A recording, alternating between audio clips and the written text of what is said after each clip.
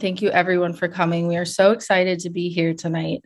Before we do anything, though, however, we would love to have Father Boniface uh, start us off in prayer. So, in the name of the Father, and of the Son, and of the Holy Spirit. Amen. Amen. Heavenly Father, our primary purpose is to worship you, and we want to adore you in all that we do here this evening, to acknowledge your majesty and the saving love that you have revealed to us in your Son, our Lord Jesus Christ who has restored and redeemed us. We ask you to fill us with your Holy Spirit, transform us, conform us more and more into Christ. And we trust in the prayers of our mother and Saint Joseph, all the holy angels, to unite us through this electronic circuitry and through these great distances with each other, and most especially with each other that we might be more united with you. We ask for your blessing in a special way on Sister Miriam as she opens her heart to us and shares her journey and her wisdom, that her words may be anointed, that she might say what you want her to say, and that we might hear what you want each of us personally to hear. And we ask all this through the intercession of Our Lady. Hail Mary, full of grace, the Lord is with thee. Blessed art thou among women and blessed is the fruit of thy womb, Jesus. Holy Mary, Mother of God, pray for us sinners, now and at the hour of our death. Amen. Saint Joseph, pray, pray for, us. us. In the name of the Father, and of the Son, and of the Holy Spirit. Amen. Amen. Amen. Thank you, Father Boniface, one of our beloved teachers and spiritual fathers here at Avila. And thank you to everyone in the Avila Army, our monthly donors who have made this webinar possible. And before we uh, hand it over to Sister Miriam, Miriam and have her introduce herself, um, I just wanted to say I'm so excited about this topic, excited to have you here. Um, healing is always, if anyone knows me, if you guys have been around, you know that healing is a very passionate topic of mine. Um, my background is in psychology, and um, I love how it integrates with our faith and in spiritual direction and how it can really help us in prayer. And so um, I'm just thrilled to have you here, sister, and really grateful for your time this evening. And just pray that God will bless us. So, um, uh, Claire, actually, do you want to uh, chime in to, and give a little intro to Sister? Well, I'm going to let her do that, but I thought it was really um, appropriate to just kind of mention, first of all, well, first of all, I do not have a background in psychology. I am, I kind of was thinking about it, and I kind of represent everybody else here tonight that desires to grow closer to the Lord. I call myself a student of the interior life, and I think I will be for the rest of my life. I love learning about the faith. I love um, learning about prayer. And I, I am a student of Father Boniface in spiritual direction because I do feel called to even more learn how to teach others to grow closer to the Lord in prayer. And as I take that journey, you, you know, like everybody, I realize how much the Lord is inviting me to be healed. Mm-hmm. And I think at the Avila foundation, we really see our primary mission as helping people grow in prayer through the authentic Catholic spiritual tradition of the church. And you can't do that without realizing that the same God that raised people from the dead and healed the sick is inviting you to the same relationship with Him of mm-hmm. healing. And so, more and more, I think um, we are coming to appreciate the relationship between authentic Catholic prayer and the healing work of God and how those two things are integrated. And so it's just a joy to be able to bring this to our people and to invite them to consider what God has for him for them that he has more that he always has more. Um, and that this healing process is never done alone. It's always with others. And so we have a guest today who seems to have a special charism for inviting people to consider that God has um, healing graces for them and to invite them to open themselves up to those graces. So, that being said, Sister Miriam, could you? I could read a bio and it would be very impressive and knock everybody. I, am not going to. I'm just going to invite you to tell um, everybody here today a little bit about yourself. Oh well, thank well, thank you first of all, Claire and Ann. Thank you so much, and Father Boniface. So lovely to see you again. Uh, you all are very dear to me, so I I feel honored to be here. I you know my background's not in psychology either. It's like mostly in sports, and so I was just a college girl who wanted to work for ESPN, and God radically interrupted my life in, in a variety of ways. And so, um, yeah, it's been a very long journey, and it's a journey that continues to this very moment as I sit here before you. I it's just so wonderful that that conversion and love and wholeness happens every day. And i really i can honestly tell you without any like pietistical sentiment that i hope it never ends. I, I hope i never get to a point to where i tell jesus that's enough or no i'm good enough lord. No that's enough. I i, I hope he opens every part of my heart forever for the rest of my journey because the day that i say that's enough the day that's the day my heart dies you know? So i it's worth it. It's it's the fullness of our life. And um, i'm very grateful i'm very grateful to be on this journey especially with people like you. So yeah it's a it's a wonderful wonderful place to be. So i can tell you a bit about myself if you want. I am a member of the society of our lady of the most holy trinity um, we're a um, community. I live in um, um Corpus Christi, Texas. So we uh, were founded in 1958, and we serve in teams of priests, sisters, and laity. We serve in areas of deepest apostolic need. So I live at our headquarters here, and I've been here for many years. And over the years, I've served in a lot of different uh, ways of directing novices and parish, you know, um, ministry and working with children at a Catholic school. And then uh, for many years, I've sp- I speak travel and speak full time. I, I, work a lot with the John Paul II Healing Center, headed by Dr. Bob Schuchts. So I've worked with them for many many years, and we do a lot of healing retreats for priests and religious sisters and laity. And so I that's yeah, that's been a, a deep journey of my own heart, and uh, to be able to just to travel and and speak, and actually to watch people encounter Christ. I that's that's the best that's the best thing. That it's that's what you know i and i often say that it's really true of people. They don't ultimately really want to meet me when they talk at a conference. Like they really don't. What what they really want to have is a, a, an encounter with the living lord jesus. And that's what people want from all of us. Like they they want to know that god's alive and well and that their lives matter and their suffering matters and that their dreams matter and that nothing is in vain that god loves them unconditionally I, it's like it's stunning really just the our human hearts and just just the call of love it's it's it's such a beautiful life, really. Yeah. Well, they may want to meet Jesus, but I think they also want to meet you because you, well, you just incarnate him so beautifully.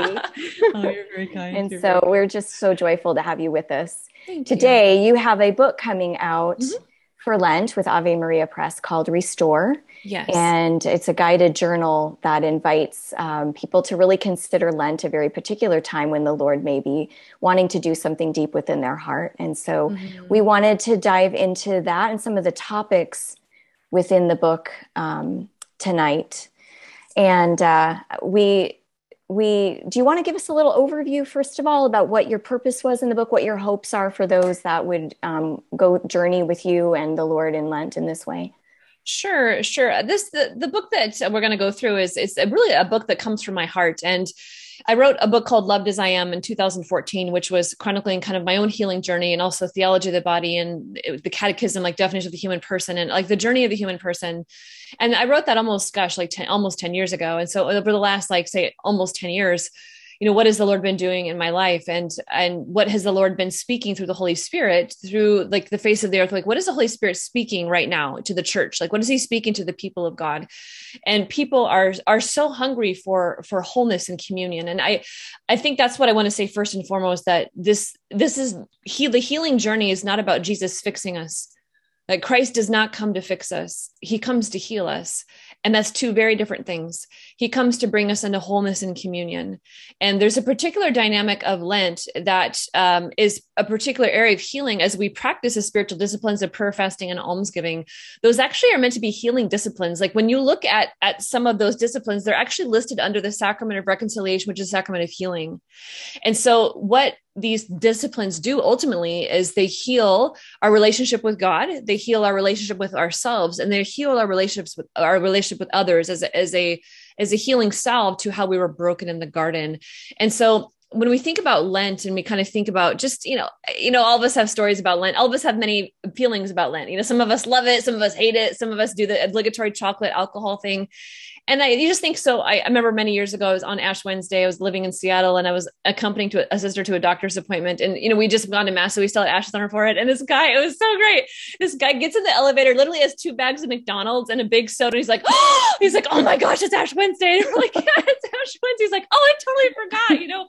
and so we have kind of these different relationships with Lent, and then you know, a week or two or three in, it's almost like New Year's resolutions. Like what what's really happening on Easter Sunday? What's what's supposed to happen? And so ultimately this journey of, of which it takes many forms in this particular vein of when we undertake these practices with Christ and allow him to bring us into wholeness and community in every way, we we come into the paschal resurrection remarkably transformed. And that that's really my desire is that even if it's in a very small way, and that's why I call it a dangerous path. You know, you talk about danger meaning, you know, harm or injury, and it, and this causes harm or injury to our idols, to our our facades, our self defense mechanisms. Um, like just today, I was talking to a friend in the car, and I was like, "Oh my gosh, I can't believe I said that!" Like I did not know that about myself, and so I'm like so grateful that that part of me was revealed. And so that's what happens on the journey of love, because that's being naked and vulnerable. That's being naked and unashamed and that's the journey of christ. Like that's how jesus lives. And he's teaching us how to live as he lives and having an integrated life because christ is, is the man who's integrated wholly and he's bringing us into integration. So that's kind of a overview of that. Wow. I i have to say when i read the book and i you know so often we think of Lent as like white knuckling it like yeah. we're just going to sacrifice and we're going to get through it and we're going to do it and i think even intellectually i didn't think i thought of lent that way when i was reading um, the book just your the way that you expressed the vulnerability yeah. that lent opens up in us and the opportunity for our deepest desires to be revealed because we stop stuffing ourselves as much with all of the things that we use to numb and you know if we're doing it right and we're really in you know asking the lord what do you want me to give up? Yeah. it exposes all kinds of things and that's an opportunity for him and for us. So yeah. um, and before we dive into the book did you have any thoughts about what sister was saying? Um, i was just thinking about vulnerability too and how um, just the willingness to be injured and how so often we protect ourselves mm-hmm. um, from going to that place and letting go of all of those defenses we can have you know if we're in our devout prayer life and in even white knuckling as you said claire um, sometimes we can just be so unaware of what those those places are where we're not willing to go into that vulnerability that willing to be injured and so it's just I think it's really beautiful how um, in the book it just kind of you just kind of start breaking it down for us and really open up those places so you can start to discover where those are those parts of yourself are that you don't want to go. Mm. Yeah. Yeah. Thank you for saying that because I that's that's such that's so true and for all of us and I I think just the way that Jesus I've what I find about Christ one of the things I think is so beautiful about him and it's that he's so incredibly kind. He is so incredibly respectful and kind. And he has no desire to like shatter us or destroy us or he's so kind and and all he all he does is he invites he just he invites into his own life and and so like that's the like and like what we're talking about like that like what you're saying right there is like it's the invitation to being seen. Like it's the invitation to being hungry in the best way possible. It's the invitation to be naked. It's invitation to be like him.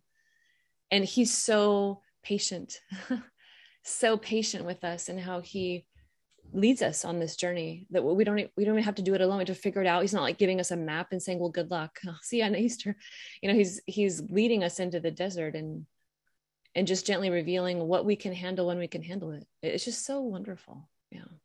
And it's so interesting too, because that kindness is something like either others have beaten us up, you know, whether interiorly or even physically, or we beat ourselves up.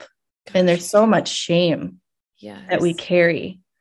and that kindness is like it's like a brand new concept sometimes because we have these false images of the father and who he is and so it's kind of allowing i think this you know during lent we can try to open that up and allow these new you know truths about who god is mm-hmm. when we start to take away some of the things that are in the way yeah I, I did an eight day silent retreat with Father Boniface earlier this or this last year, and and one of the, he told me many wise things. As you know, he's very wise. But one of the things that he shared with me that I've been sharing with people ever since was that he said, you know, God the Father's old enough that we can all be His children, and it means I don't have to figure it out. I don't have to grow up. Like I can just be little, and I can make mistakes, and I can fall down, and I can get back up, and and it's His kindness that unlocks our heart.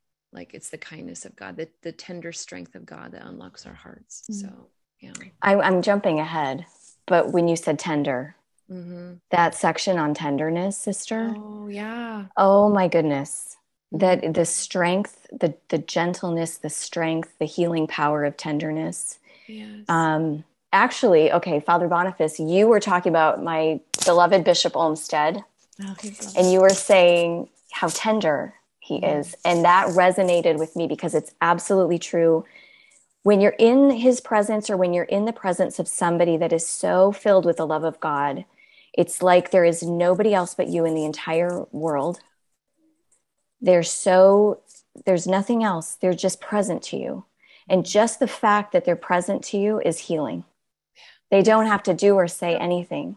There's something about that that is incredibly powerful and it's strong, like you were saying. And, um, and that's just, when we're healed and when we're whole, we can be that for other people. Mm-hmm. And that's really the point, isn't it? That we can love God and love others with a heart that's fully integrated, that's whole, and that's able to give the love of God as well as receive it. Mm-hmm. Um, yeah, yes, and amen, and amen to that. And that's the whole. It's it's living Christ's life. It's it's the very first paragraph of the Catechism know, that says, you know, God infinitely perfect and blessed in himself and a plan of sheer goodness freely creates man to share in his own blessed life. Like God has no other ulterior motive than to bring us into his own beautiful life. And that's the point of like to restore means to bring back. It's not like going someplace you've never been before. So it's the goodness was there before the fall. The goodness was there before the trauma. The goodness was there, you know, before the pain and before the rupture of relationship. It's all there, which is why John Paul II says all of us have an echo of the garden in our hearts. And so the Lord's art, the Lord is bringing us home. that's that's really all He's doing. And and I think you know, I love that you said that, Claire, because I think all of us have a particular relationship with tenderness. Isn't it so interesting how it can be so scary to us at times? It can be it can incite all kinds of things in our hearts. And and yet ultimately it's the tenderness that quiets a, a baby as, as, the baby cries. It's the mama's tenderness. It's the soothing voice. It's the peter sitting down with jesus at the charcoal fire and jesus being tender with him. You know it's the woman caught in adultery. It's the woman hemorrhaging. It's talitha cum it's all the things you know. It, it's yeah. Yes. Yes. Mm-hmm. uh, oh, and, uh, this go ahead Ann I was just going to say what's coming up for me too is like how just a question for everyone to ponder is in your own prayer life with the Lord, are you, you know, do you feel worthy to receive that tenderness? Mm. Just to think about that, take that to the Lord and and just um, you know, if there's anything there that stirs up for you regarding that, it's a really big one. Mm. That's a good word. Mm-hmm.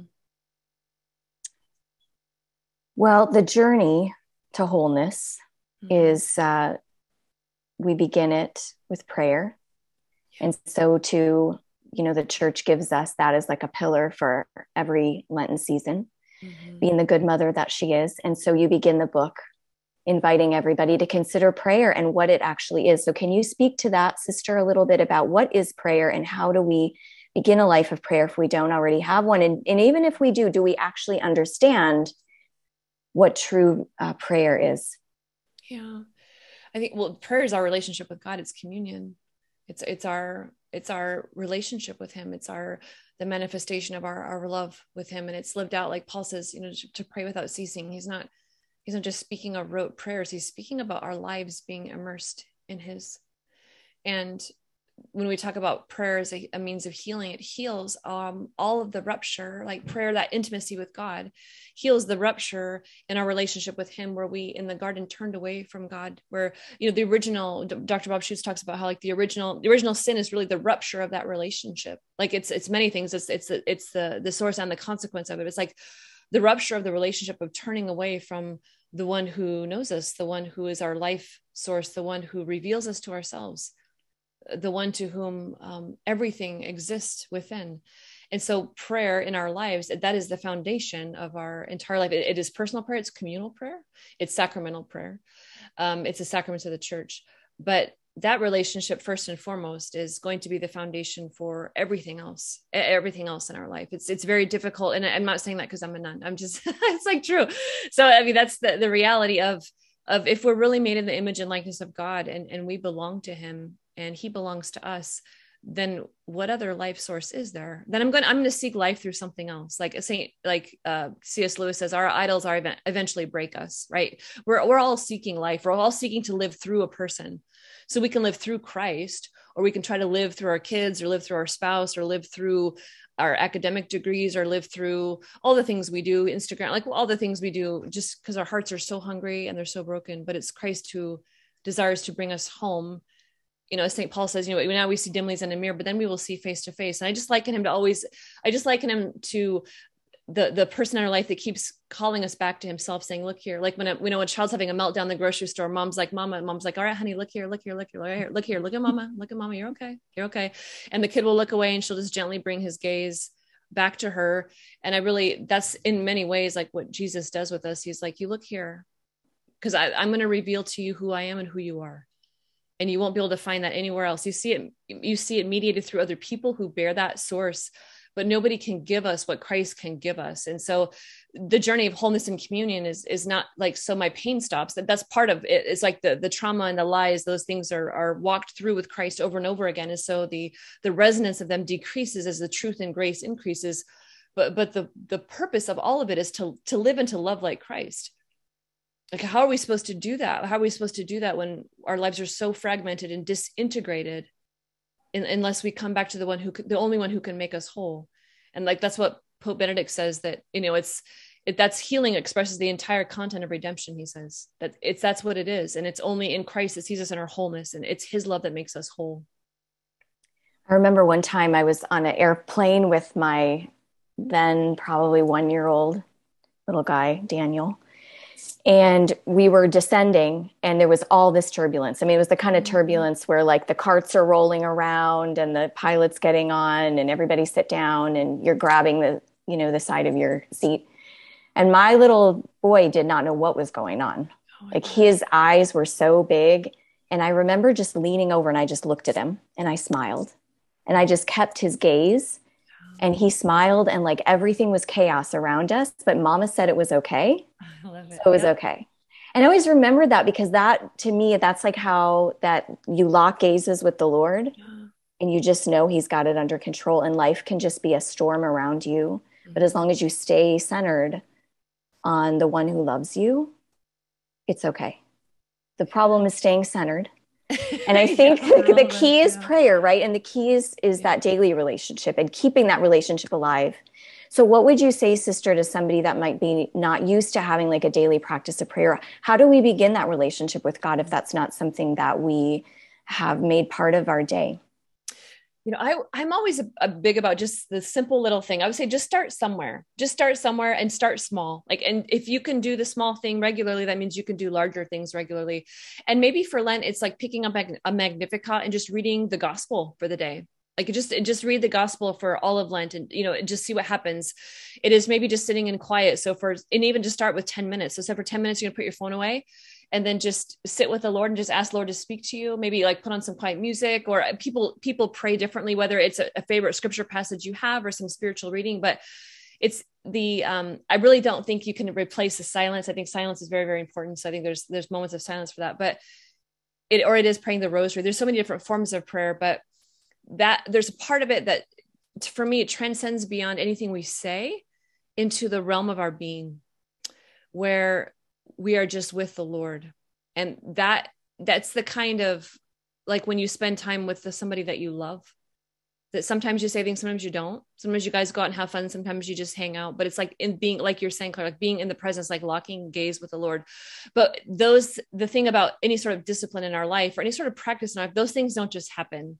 And it's not romantic but we're going to have to make we're going to have to actually set a time to make that happen. And it's going to have to happen whether you know it's convenient or not. And so we're just and if we fail we're going to come back again. But i you know sometimes it's, it's like easy like all of us oh i'm going to get up and i'm going to eat this and i'm going to go for a 12 mile run you know and then it's kind of like by seven o'clock you haven't done any of it. So it's like what what are the priorities of my day? And some people pray best in the morning some people pray best at noon some people pray best at night or maybe it's when your kid's napping and you're just going to do the best you can. I say go for it. Like at some point but that has to be something that we and that is a discipline. Like that root word disc means student and so we are always a student. We're always the disciplines help makes make us students. And so we're always a student of the lord. So we're always learning. So all these things it's they're they're going to have to be things we actually have we have to make them happen in a sense of they have to be a priority to us.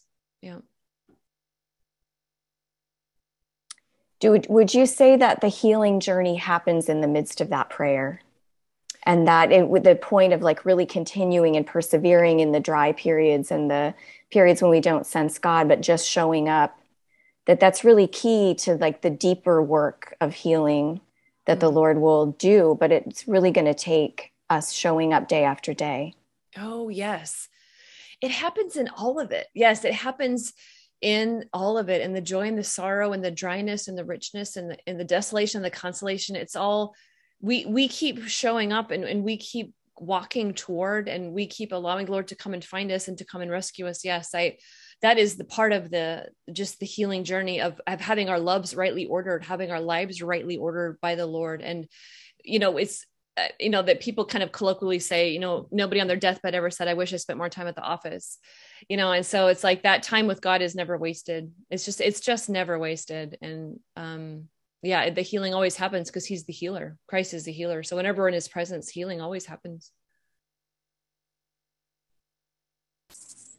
The next section of the book, when it talks about fasting, sister, it talk about healing the relationship with ourselves. Can you tell us a little bit more about what you mean by that?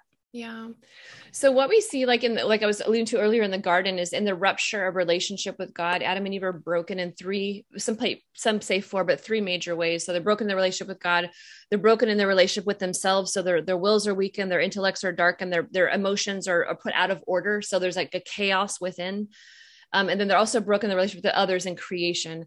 And so we all know, we can all say with St. Paul of I don't do what I want to do and what, what, what I want to do, I don't do. I don't know what to do. so like we all, we all know that war within ourselves, within our members. Like we know the war intellectually, you know, spiritually, physically, you know, emotionally, sexually, we know all the within us. We know all those areas of our life that we are often at war with ourselves. And so what fasting does is fasting helps order our loves right? So and we can fast and i talk in the book about a lot of different things like we can fast from a lot of different things but when we allow the lord to choose that for us and we experience the ache of that or we experience like the absence of one thing what it allows us to do is allows us to fill that place in our heart with with god with something larger. And it also helps us to see our idols. Like Uh, you know, it's interesting. We've all tried it probably at times. Things were like, oh, that's not a big deal if I gave that up. And you give it up, and like two days later, you are dying. And you're like, I had no idea that was such a part of whatever, whether it's food, whether, whatever it is, whatever it is. And so that helps open our hearts to see, okay, Lord, what am I, what am I looking to save myself instead of you? Like, where am I, where am I focusing my gaze? What am I you know putting my weight on that i'm looking at to to fill the hunger or when i get when i start to feel uncomfortable one of one of my dear priest friends says you know when you start to feel uncomfortable do you open your phone or do you close your eyes like what are what are the things like in our hearts where we go when we start to feel uncomfortable and so fasting it brings us into discomfort in a sense of there's a spiritual practice to it because Jesus says, you know, there's certain things that are only cast out through prayer and fasting. But like the underneath level of that is to help bring us into integration. So it orders our loves and so that we can and when our loves are ordered we can enjoy what is good true and beautiful. We can enjoy the richness. We can enjoy the beauty. We can enjoy love and pleasure and symphony and and but until our loves are ordered we're always going to be grasping at those things or we're going to be either pushing them away because they seem dangerous or so fasting is a wonderful gosh it's such a wonderful discipline right for the as students to have jesus order our loves My husband thinks I'm crazy, but I love that watching the show Hoarders. Oh, isn't it like, yes, I've seen that many times. It's like therapy for me. I just yeah. watch it and I look at these poor people, but it's a, it's a visual representation of sin for all of us. Mm-hmm. It's just a very visual way to see what happens when we cram stuff yes. into our lives that we do not mm-hmm. need and we cling to so desperately because we think we do. Because what mm-hmm. if? Like, what if you yes. take this away? I don't want to find out. Yes. And then when it's over, I'm like crying because the house is clean and it's spacious. I think about that scripture the Lord will bring us to a spacious place. Yeah. And like you can exhale and you can experience life and you can experience love and you can bring other, there's room for other people now, finally, where before oh, it was gosh, just yes. that's a good word mm-hmm. garbage, you know. Mm-hmm.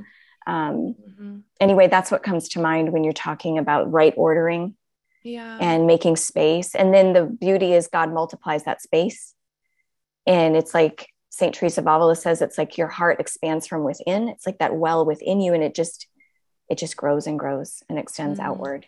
Mm-hmm, mm-hmm. Yes, yes, and amen. And I I love that you just talked about that show of hoarders because if you have a hoarding addiction, it's not about the stuff; it's about what it represents.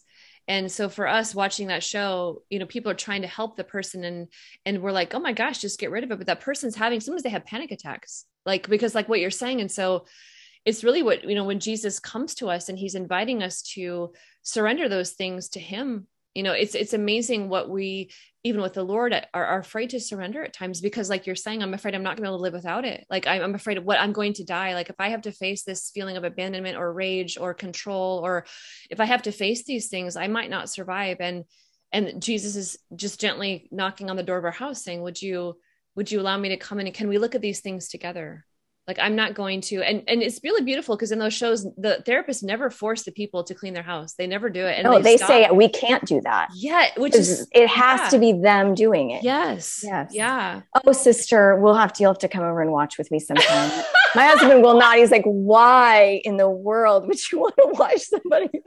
No it is it, but it's, it's it is great. Fascinating it's, to me. it's yes. such a study. Yep i agree with you. Yes and i think what it comes down to is trust yeah. You have to trust that when you need what whatever it is that the Lord will provide it instead of grasping and clinging to something just in case. Yeah. Whatever that is or you're trying to fill our life with something because we're afraid of being without. Mm-hmm. When if everything's rightly ordered and we give everything its rightful place in our life, we can trust that the Lord will provide at at, at the time. Um, maybe yes. not and you know not maybe not before it's usually just what we need when we need it mm-hmm. but it mm-hmm. really comes down to trust yeah yeah it does and I, I think even the word trust means to rely upon somebody or to depend mm-hmm. upon them and it really gives like the kind of the intimation of i'm going to put my weight upon you are you are you can i put my weight upon you and for us that's very we're very afraid of that and Bob, Dr. Bob talks about how, you know, the, so if you look at the tree, like the tree of our life and the root of our tree of like the knowledge of good and evil, all of us, you know, have a root of sin in our life. And, and the, the, at the root of that is usually self-reliance where I'm going to, I'm going to take care of myself. I'm going to depend on myself. I'm going to save myself. I'm going to do it myself. Um, and then the, the shift of that is the root of the tree of the life, the root of the tree of life, which says, I will let God love me in the places I feel most vulnerable and most dependent right? I will let God love me in the places I feel most vulnerable and most dependent. And just many times sitting in our life when the Holy Spirit reveals something to us that He would like to receive from us, or that He would like to transform in our life, or a memory in our life He would like to go into, or something in our life that's continually troubling to us, or a repetitive pattern of sin, whatever. It's just so easy for us to, like Adam and Eve, try to seize the fruit for ourselves and try to, you know, maintain some sort of autonomy, that, which is not even possible. But that versus like sitting with the Lord saying, Lord, I'm terrified. And it's okay to be afraid. Like, like you're saying, like it's it's okay. Like this Lenten journey is we're gonna there's gonna some things that are gonna come to our heart that are going to, to they're going to scare us. And, and that's okay. Like Jesus is not afraid. And he's like, Can I just sit here with you? Like, can I just can I be here with you in this? Can I be here and with you and why this particular fasting is so hard? Like, can I be here with you in this relationship that you have with your mother that's so broken that you wish for something so different? Can I be here with you? That's Christ wants to be with us. And like we were saying earlier, wherever, wherever Christ is, wherever the Spirit of the Lord is, there's freedom. Wherever Christ is, there's healing, you know, always. Mm. And did you want to chime in? There was a quote that, that struck both of us that I wanted to get into on page 63, the quote from The Exorcist that you said you think about every day. I think I will think oh, about it every day. Yeah, that's a good one. Um, but before we dive in, Ann, did you have anything? No, I just have to admit my guilty obsession was my 800 pound life. The, that show. it's another one. I know it's like we watch the same It shows, fascinates me. yes. Yes. Yeah. Yes. It's yeah, the study my, of humanity. Yeah. Mm-hmm. Yeah, it does. So true. So let's true. get into that quote, Claire. I love that quote too. Do you want to read it? Do you uh, have it? I have it on my screen. Do you have it on paper? I have it on I'm a paper. Sister, we didn't get the actual hard copies of the book yet. Oh, okay. They were trying to send it to us, but you know how the mail is these days. So we didn't get it. So just forgive me just a moment. Let me find it. Oh, or Ann, if you have it pulled up. Should I share it? Yeah. You want to share it then? Let me see if I share can it and read it. A little long. So this is a this is um, from the second week of Lent, and sisters talking about the ache for communion. Mm-hmm and um, the, this quote from an exorcist friend of hers mm-hmm. that is so powerful and so striking and so true. Mm-hmm. Do you want to read it, sister? Oh, sure. Yeah. Sorry. It wasn't. Yeah, sure. Um, and these, oh, these are the words of my friend. And it, he says, after so many years of working with people and their deepest wounds, sins, and sorrows, I've come to realize a couple things about the nature of the battle we face on earth. First, our wounds are not arbitrary, they are not random.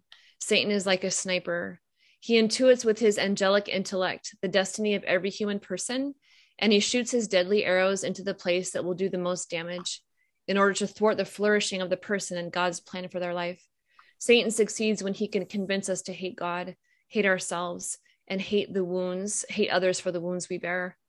But second, in God's mysterious and divine sovereignty, God allows Satan this access only to make the wounded places even more life giving, more beautiful, more glorious than they would have ever been otherwise if we allow the restoration of these places.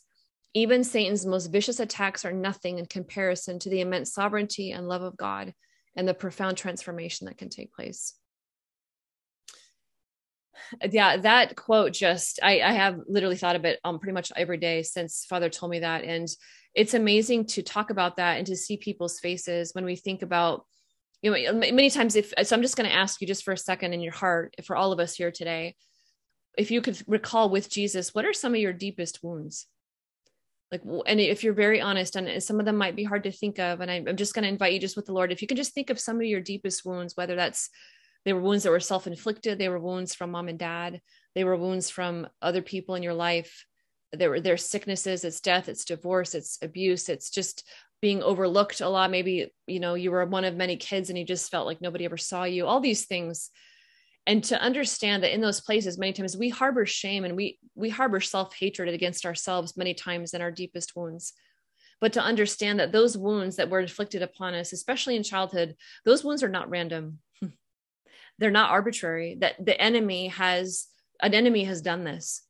And Satan comes to steal, kill, and destroy, and he is trying to take us out. And so I think that just understanding that these are not places where Jesus hates us. These are not places that disqualify us from his love. Like these are these are the very places that he the Lord so deeply delights to come into these places. And the, the places where the enemy wants to destroy us it's the places where we experience the love of christ. And it's in these places where we give the love of christ in a fragrance that nobody else can give but us through these very places. It's it's it is the, the christian paradox.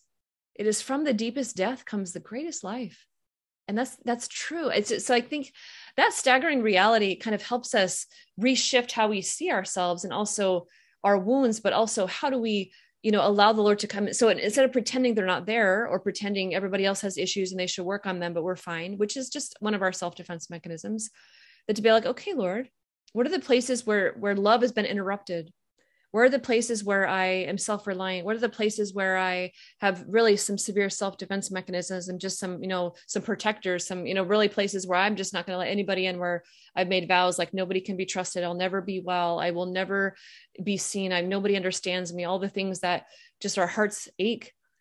But it's in those very places where jesus comes to transform us in, in a very unique way. So yeah that's a that's a deeply profound reality that i think i know for me has really transformed my areas of deepest wilderness, I'm like, oh, that that wasn't random. Yeah, that was. That Sister, would you talk a little bit about protectors and just a t- titch of IFS for yeah. our listeners? Yeah, I mean, the, we use the word protectors in a therapy system called the internal family systems, where it talks about these are the, the parts of our hearts that try to keep us safe. So many, it's the places where we control, or it's the places where we dominate, or we criticize, or we have to have it all together, or we have a kind of a persona like a persona that protects the tender vulnerable places inside right? So if you could look at kind of like the armor like the armor that protects the the vulnerabilities inside and and those are what what are called like the exiles like the places where we hold areas of deep pain or neediness or sorrow or grief or shame like all the places that are very tender that don't feel like safe enough at many times to allow Christ to come or anybody else to come close to. So most of us and we all have it kind of operating in different ways in our life and we can all see in ourselves probably in different relationships like oh okay you know but it's those places that are very tender that don't feel safe enough yet to come and just be and so we we massively you know protect them and so that's a lot of times that's what we're doing in our life through through a variety of methods um but yeah, they're pretty formidable and and just it's lovely that the Lord doesn't he doesn't tire of visiting us there. I love that concept and having no background in psychology or therapy or even healing ministry. Actually, through Father Boniface and the the program at St. Vincent for spiritual direction, I was introduced to this idea. Oh yeah. And just praying with it has been mm. incredibly powerful mm-hmm. in this idea because it is the fracturing like original sin fractures our relationship with God fractures our relationship with other people and it splinters us inside. Yeah.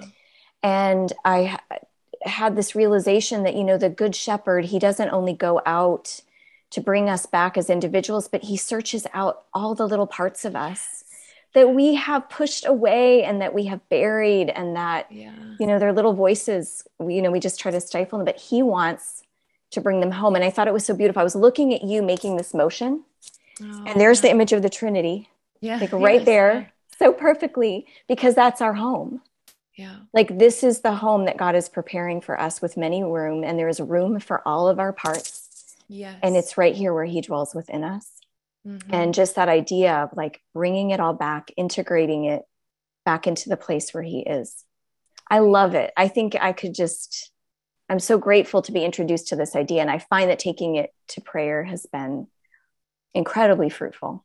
Oh gosh. So, oh, I love that. Thank you for yes, speaking I, to I that. agree with you. Yes, I agree with you. It's it is helpful and and you see that I really you see that all of us have those little girl or little boy places inside, you know, and, and all the things that we bear. And I was very convicted by the Lord um, some time ago from, from that scripture passage when the, the children are coming to him so that he would touch them so that he could bless them and lay his hands. So the parents are bringing their children to Jesus so he can place his hands on him because his touch is safe and it's healing. And the disciples are rebuking them. And I, I love that Jesus says, You don't do that. Don't, don't, don't do that.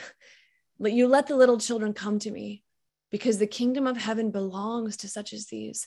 And then he placed his hands on them and he blessed them. And we all have those little children inside and most of the time we're the disciples. We're rebuking those places inside and we're so deeply harsh on ourselves. And, I, i'm not talking about you know being permissive with things that you know need to be transformed. I'm not talking about that but just the heart we are we are the we are the you know just rebuking the little parts of us. And we're like get out of here. You're causing so much problems in my life. Like get away. And jesus is just saying you you let them come to me. You you let every single one of them come to me because the kingdom of heaven belongs to them and it belongs to you. And don't do not prevent them. And if we did nothing else this line other than just allow the little places the little aches of our hearts to come to the lord whoo that would be transformative indeed. Yeah.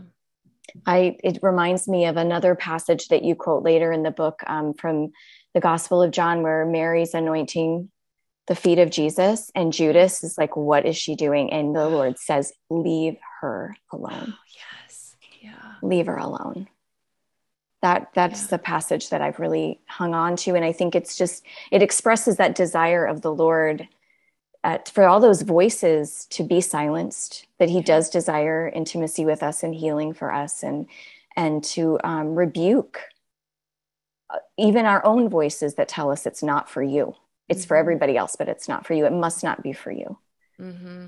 Mm-hmm. Um, mm. oh it's so powerful and so beautiful yes claire yep Before we move on, Anna and I were really struck by um, the idea of re- restoration and what that actually means. Mm-hmm. I don't know, Ann, do you want to hop in or? Yeah, and did you want to say something earlier? I was actually just going to shift what was really interesting is these parts and these places that I know I've experienced. Um, sometimes it's just too hard to go there by yourself. And I was just thinking about how important community is and or sometimes when you go into a healing retreat and to have the power of other people witnessing those pain, that pain um, that Christ uses them to help you go to that place because it may be incredibly difficult mm-hmm. for someone to yes. to actually go there. Mm-hmm. Mm-hmm. Yeah, and that's kind of the next section of the book is the mm-hmm. community piece of it. Mm-hmm. Yeah, no, and that's very true. And I, I, um, I love that you said that, both of you, because it's, I was, I was on um, a call or I was like kind of in a class, a master class on the healing of trauma this last summer. And, and one of the, there were therapists from all over the world and there, it wasn't Christian. It was just like a purely secular neurolo- neurological kind of scientific study of trauma and healing of trauma. And the beautiful thing is that every single one of them said, you know, what heals trauma? It's communion. like that's the only thing that heals trauma is communion. It's not even a modality. It's actually communion which is what happens say even in a therapy office where you can sit with somebody and experience some deep emotion and go through some deep areas of shame in your life and things that have happened to you and it's in a safe place. And when you come back kind of set to yourself and you look at the therapist's face they they they see you and they and they love you and it regulates you and it, and it brings communion. It's the it's the it's the repair of the rupture you know? And that's that's the that's what holy connection that's what holy attachment like those are secure attachments. Like that's how we grow is through secure attachments of of strong warm loving connection. That's how our hearts grow and like that's how god relates to us. Like our connection is ultimately with him. And so in the area of almsgiving that's what almsgiving does. And we talk about almsgiving as traditionally giving money to something or giving clothes or things like that.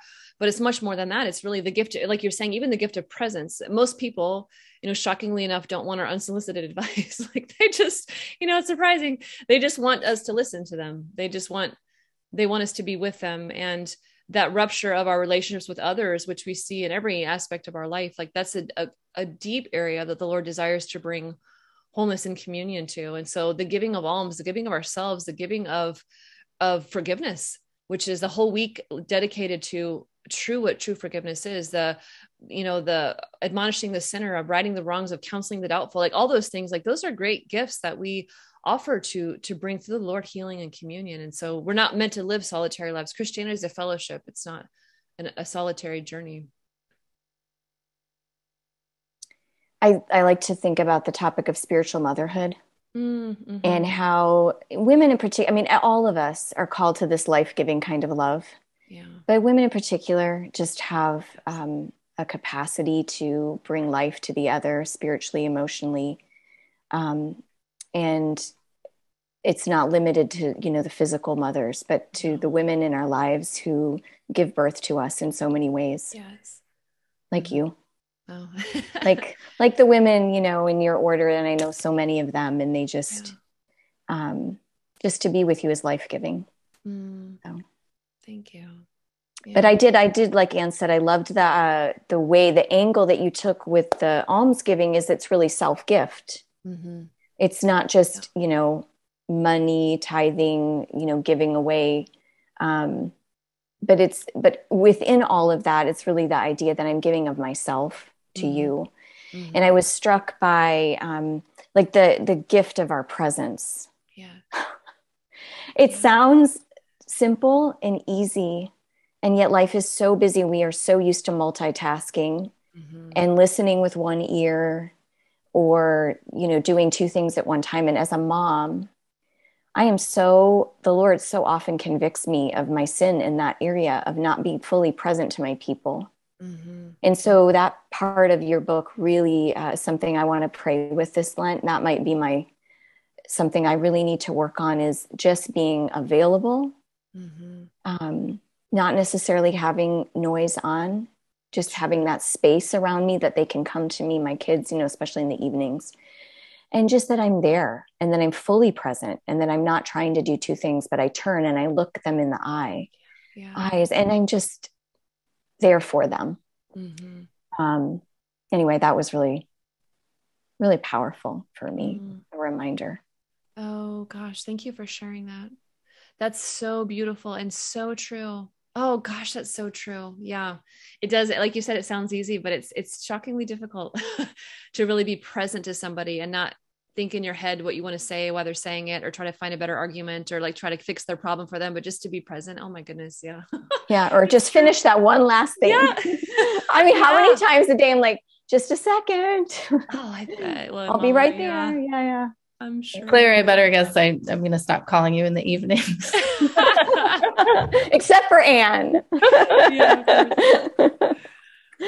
Yeah, well in this presence this communion and like i guess we could go back to that restoration comment claire.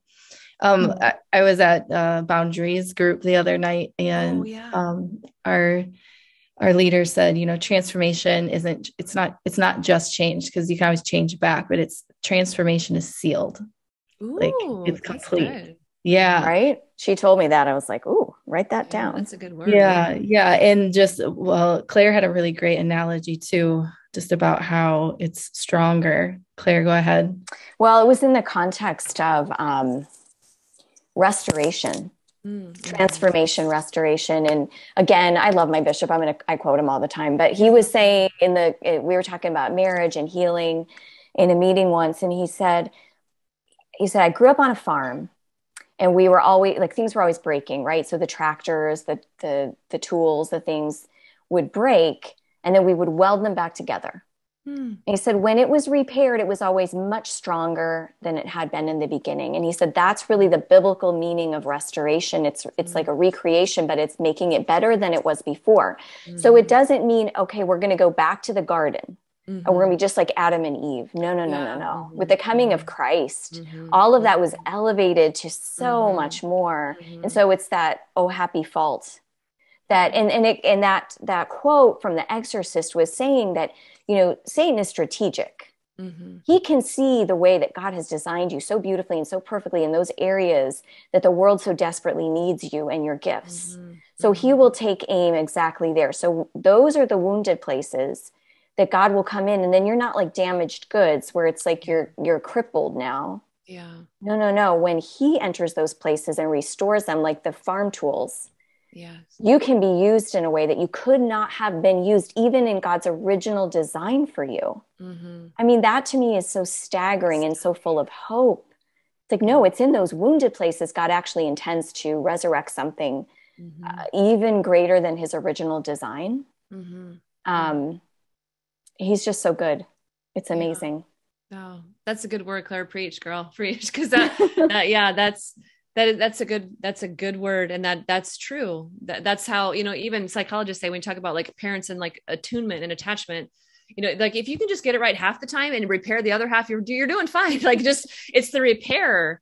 It is the repair that makes the difference. Like it's the repair of of coming back and having the connection healed and it's made stronger and it is. It's like you know you think of adam and eve in the garden then you think about jesus crushing death and triumphing over it and we're living forever in his glory. That's just like what? You know oh my gosh. Like the the the stunning realization of that kind of grace is the beauty of it. Yeah my goodness. And would you guys agree that um i know for me i've definitely done this but a lot of times we've been on that cross for so long and we just beg for the resurrection we have a really hard time waiting in that tomb because going in that tomb, we got to descend into those feelings and go to those places. And that tomb really is that that daily prayer that we need to go and keep encountering these places. And mm-hmm. my spiritual director always says healing is like um in our wounds, it's like a diamond. Mm-hmm. And so you're just always shifting it so the Holy Spirit can shed his light, just looking at it a little bit differently. Mm-hmm. Um, but again, going back to those places, it just might be too hard uh, to get off that cross and to, to wait in in that space and we just want the healing we just want the resurrection we know that's the promise mm-hmm. um so just the importance of supporting each other in that healing journey in this process mm-hmm. in prayer and in mm-hmm. staying accountable to it mm-hmm. Mm-hmm. that's so true I, I, people say we want to jump over holy saturday we want to go from good friday to easter sunday and we don't want to and, and all of us like you're saying and so beautifully all of us are constantly even living out the paschal mystery in different parts of our hearts like different facets of our life or in the life and some of us are in the crucifixion some of us are in the death some of us are in the resurrection. So it's like this the continual paschal mystery and i think like you said us coming alongside of each other and i think that's one of the beautiful things about love is and when we sit next to people and you know we're not trying to push them out of their their tomb either that we're sitting there with them and we're reminding them of who they are. We're reminding them of who god is.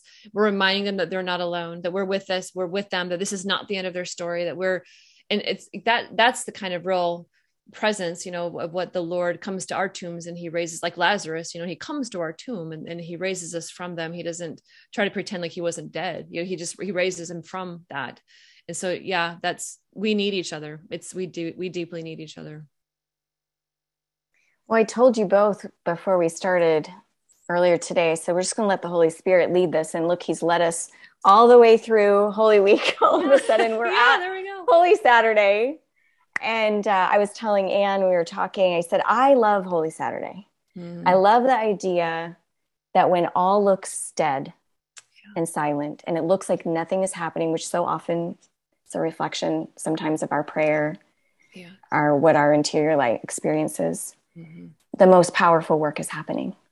And like Jesus Christ has descended and is breaking thousands of years mm-hmm. of bondage and opening up mm-hmm. like eternity, but nobody knows it yet. So you know? Yeah. And I think about him being in the tomb but alive, like like coming back to life in the tomb before he emerges, like just the power of that moment. Mm-hmm. Um, sometimes that's our experience. It's like the Lord is there, He's right there with us, and yet it's all dark. Mm, yes. And um, but the resurrection is at hand and and um, and that's the whole point and that's a reflection of our experience with the lord so mm-hmm. Mm-hmm. and that's the journey right yeah. and that's it's hard to believe we're talking about lent actually i mean we just like we still have christmas ornaments laying around the house so it's crazy but it's it's going to be upon us yeah. it's not too early to start mm-hmm. praying about what the lord has for us and these seasons are these these seasons have grace mm-hmm. that will never come again amen that are mm-hmm. offered and it's you know it's an opportunity so mm-hmm. mm-hmm. um so we're almost done i can't believe it that was the fastest hour of my week i don't know about the rest of you um and did you want to talk about some of the um other resources we well first of all the book avemariapress.com mm-hmm can order the book. Um, I have a code for free shipping. We'll include it in the email. Yeah, we'll include the links and everything. It's it's restore in all caps mm-hmm. for free mm-hmm. shipping. Mm-hmm. Um, if you want to discuss the book or listen to a discussion of the mm-hmm. book, abiding together podcast.com, mm-hmm. mm-hmm. sign up because Sister and um, Michelle Benzinger and Heather Khym are going to be spending their Lent with us talking about the book. So, what a great way to dive even deeper mm-hmm. um, in this journey with them. Mm-hmm. I like the Lenten books that you're picking the last few years, by the way. Oh, yeah. Hey. I like too. Yeah. Good yeah, stuff it's really beautiful. It really is the Holy Spirit that chooses them, and it's just interesting to see. We usually every Advent or every Lent for sure, but we every Advent we've we've done a couple different things. But yeah, it's, and it's just the thing. I can't tell you how many times in our community people like that is what I needed to read this Lent. I didn't know it, so yeah. Well, I'll plug Claire. If anybody missed last year's Abiding Together study on St. Elizabeth of the Trinity, this so present good. paradise, yeah. you guys can go back and listen um, if you would like to enter into Lent with St. Elizabeth. Hmm. Yeah, that rocked people's world last year. Claire, they loved it. It was oh, just, she's yeah, so good. She's my girl. Yeah, yeah. So it was so good, so good on so many levels. Yeah. Thank you so much. Yeah. Uh, and there's a course too. Did you want to talk about, and because it's related to what we were talking about today, coming up yeah, at Avila Institute? Um, yeah, D- Dr. Jeff Thompson has got a course coming up in May, May 2nd. Um, St. John of the Cross from healed psyche to divine union. Hmm. And it touches on some of this healing stuff uh, that we've been going through. It's the psychology of St. John of the Cross. And um, he's also got a, a, we have another webinar with him on the Avila Army site that we did a few months ago on mental prayer and attachment theory. If anyone wants to check that out. Um, and if you're part of the Army um, at St. Gabriel level, you can always le- listen to the recording of this class as well. um, whenever you want on demand. But that if you want to take that class live, it's going to be May 2nd through June 13th. And then we also have, because the life of healing, like we said, begins with prayer. So there's a study that Endow's offering with Stephanie Burke and Simone Rizkallah of Endow on St. Teresa of Avila, the doctor of prayer. And so um, tune in for that. Sign up on spiritualdirection.com and you can get all the news about all the things and stay in the loop. Um, I think that's enough for now. Sister, did you have any resources though? You're so well read. And uh, did you have anything else you wanted to mention if people, besides your book, mm. want more? Well, I think that the, the book I recommend most to people is uh, the book by Dr. Bob Schuchts called Be Healed. Yeah, that is the number one book I recommend across the nation. And it is a, a, book on everything we talked about this evening. And he's a marriage and family therapist, Dr. Bob Schuchts. He's been a therapist for over 40 years. and Just wonderful Catholic holy man. And so that that is a great book. He also recently released a book called Be Restored, which is about the particular areas of sexual brokenness as well. And so all of us have areas of brokenness in our masculine femininity. And if that's something that you really feel like maybe this Lent the Lord's asking you to just journey with him in that, I would highly recommend Be Restored as well. Like they're just out all of his books are great, but those two especially are outstanding. Mm-hmm. Awesome. Do we want to have a little Q and A? Do you do you, do you have a little bit more time? Or you got to run. Yeah. All right. If anyone has any questions for Sister, uh, please feel free to put them in the chat box. We'll just do a few minutes of a Q and A here.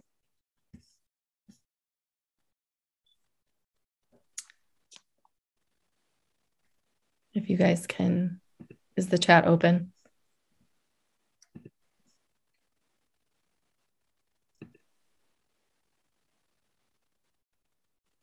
I guess we just wowed everyone so much that there's no, there are no questions.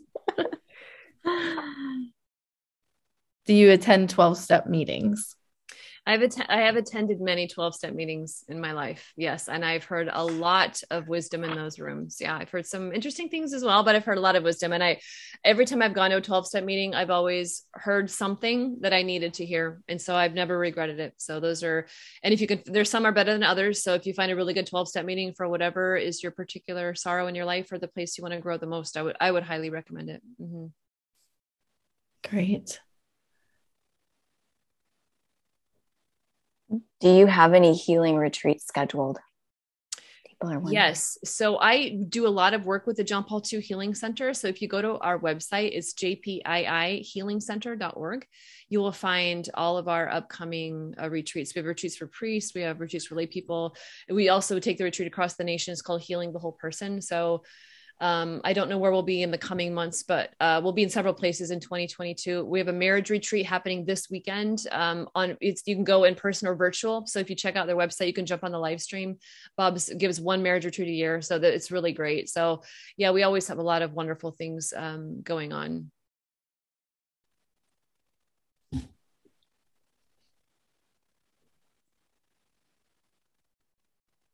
Uh, Go ahead, Ann. Go ahead. Sue asked about the boundaries meeting. That's something um, I do here locally. But if you would like it virtually, maybe we could do it through AV soon. So I learned all about boundaries through Ann. You're like my personal boundaries coach. that's awesome. I love boundaries. I think that's I like every third word you say, but I uh, we need it. Yeah, especially people like me. I have no boundaries. Mm. Welcome to the club. I'm a recovering codependent. So there you go. How would I know what Jesus is calling me to during Lent? It's confusing knowing if it's my voice or his. Mm-hmm.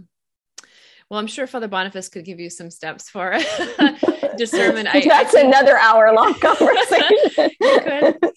um, I think, you know, sitting with the Lord and looking at the fruit of that. So, what, what would be the fruit of it? Noticing what happens in your heart when that stirs in your heart um, and then maybe kind of listing it down like what what the lord might be asking of you and just kind of noticing where your heart rests with those things.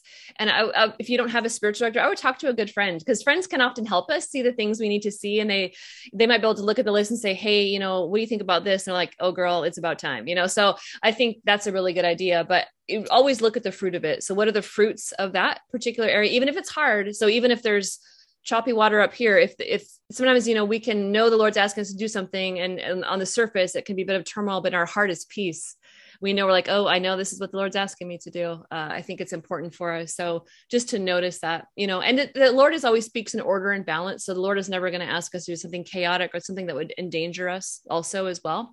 So to kind of notice that as well. So the Lord's very simple mm-hmm, and he's very good and he speaks in, in line with himself. Amen. How do you find a spiritual director? Um, probably answer that question. they go to like three of them right here. I can see three of them. Spiritualdirection.com. We have a download 10 steps to finding a spiritual director. Yes, we do. First step, pray. Mm-hmm. Ask the Lord. Um, and Claire, is that resource of easily available on the site somewhere? Do you know? You know what? Go to spiritualdirection.com and just Google 10 steps. And it'll, okay. to, speaking of 10 steps, mm-hmm. um, to finding a spiritual director. It's just ideas. It's just a starting point. But yeah, the beginning is to pray and ask the Lord. He wants it for you more than you want it for yourself. Amen. If He's put the desire on your heart, it comes with it a promise that He will fulfill that in His time and and in His way. So be faithful to that. Mm-hmm. And like um, Sister, you were saying, in the meantime, like good spiritual mm-hmm. friends and mentors yes. and small groups things like that are just irreplaceable in our spiritual life we are made for communion like it, it is yep. it's necessary you're not meant to go at this alone mm-hmm. so just persevere mm-hmm. uh, the lord is raising up more spiritual directors so like hang on yeah. they're coming father there was like 20 some in our last class so awesome. um, yeah it's it's exciting to see it is a movement of the holy spirit and along with healing and mm-hmm. along with all of these amazing ministries that are that are coming to light. It's a movement of the holy spirit i think to it's mm-hmm. another element of healing spiritual direction so. Mm-hmm. and don't forget seekdirection.app yes a new resource. We're going to be doing a webinar on that in march so again stay tuned. So cool. You want to do one more ann? One more question? Yeah this is kind of a good one. Um, what does your reset look like when you feel far from god or in a dry season or dry days Mm-hmm. What does your reset look like? Yeah. I think, well, I mean, I think it's the continued showing up every day. But sometimes we just need to take kind of a little bit of time out and maybe have a desert day and just go spend some time with the Lord and just put our phone away, grab some scriptures, grab a good book and just bring a journal and go go to mass, go to confession, go make a good confession and just sit with Lord and say, Lord, what's going on? You know, what's what's going on? What are you what are you inviting me to? And and to kind of just choose to begin again you know it, like we talked about and the word is heavily overused the word intentional is heavily overused but it's true like our life really you know our character and our life is made up of the thousands of little decisions that we make every single day. And we know that's true in every aspect of our life in every aspect and so i think sometimes maybe maybe lent is that for you like maybe it's ash wednesday or a day in lent where you're like nope I need to just spend some time and just and literally hit the reset button and say, okay, I want to, what are you asking of me? Or what's what's going on? What are the things I want to avoid in my life? Or what's stirring that's making my heart sing, you know? And to spend some time with the Lord and, and begin and begin anew and just try. Do the just do the one thing. Do one thing and do it well. I mean, even if it's for Lent, that's all you got to do. Just do the one thing and do it well. Because we can't do the 10 till we can do the one. So yeah. And one last thing, because a couple people actually wrote it right in a row, uh, right in a row. So I want to um, just mention it real quick they're just clarifying between Jesus healing versus us fixing. Yeah. Yeah, fixing is kind of more of an I think like this it's like a machine or like there's something wrong with you, okay? And Jesus never looks at us and said there's something wrong with you.